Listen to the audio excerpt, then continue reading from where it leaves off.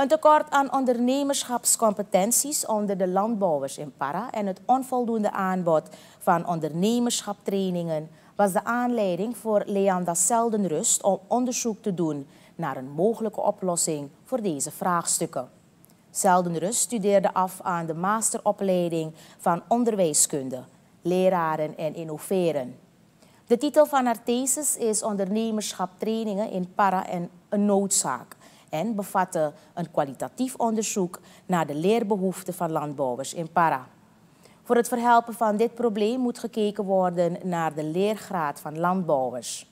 Op die manier kan er op een, maat, op een maatgemaakte studietraject worden ingezet, meent Zelden Rust.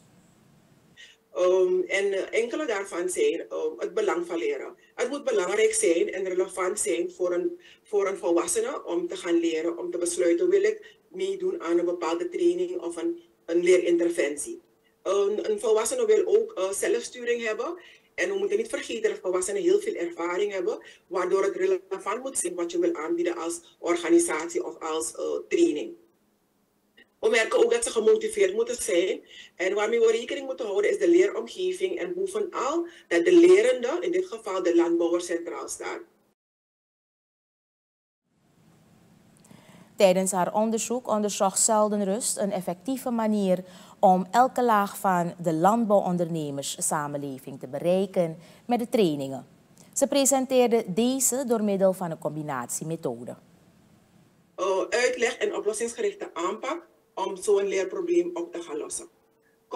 Constructivisme heeft te maken met uh, dat de lerende centraal staat. Dat hebben we net ook gezien bij, dit, bij het leerproces. Het is niet zozeer belangrijk om het effect te toetsen dan um, in hoeverre het geleerde um, in de praktijk wordt toegepast. Uh, de instrumentele, communicatieve en pragmatische hebben meer te maken met het ontwerpproces. En het instrumentele heeft meer te maken met een systematische aanpak en eigenlijk het effect van het eindproduct. Bij de communicatie, uh, communicatieve aanpak zien we meer de, uh, het sociaal aspect van die leerinterventie en dat uh, meerdere stakeholders bij, bij, bij, sorry, bij elkaar gebracht moeten worden om invulling te geven aan het ontwerpproces.